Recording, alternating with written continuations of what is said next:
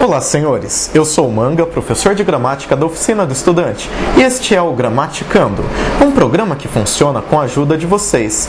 Você envia o seu e-mail para gramaticando@oficinadoestudante.com.br. As suas dúvidas são lidas, analisadas e sanadas no ar.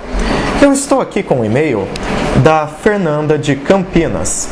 Ela pergunta sobre a diferença entre fim de semana e final de semana. Olha, Fernanda, alguns profissionais que lidam com a linguagem, que têm a linguagem como instrumento de trabalho, acabam criando certas regras, certos mandamentos que não são amparados pelo dicionário nem pela gramática. Outro dia eu estava lendo um texto de um jornalista famoso e ele defendia ferrenhamente que não se deve usar final de semana. O correto seria usar fim de semana. Ora, trabalhar com correto e incorreto, deve-se usar e não se deve usar, são termos complicados, mas vamos dar uma olhadinha nos argumentos dele. Ele diz o seguinte: da mesma forma que você tem o início de semana e o fim de semana, você não consegue avaliar o final de semana e o inicial de semana.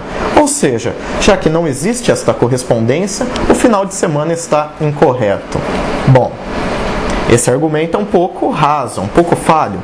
Vamos dar uma olhadinha no dicionário. No dicionário, encontramos que inicial é apenas adjetivo. Ou seja, você tem o capítulo inicial, você tem a parte inicial do livro. O que isto significa?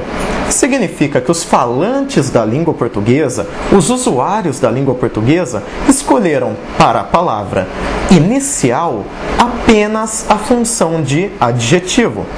Já a palavra final funciona de duas maneiras diferentes.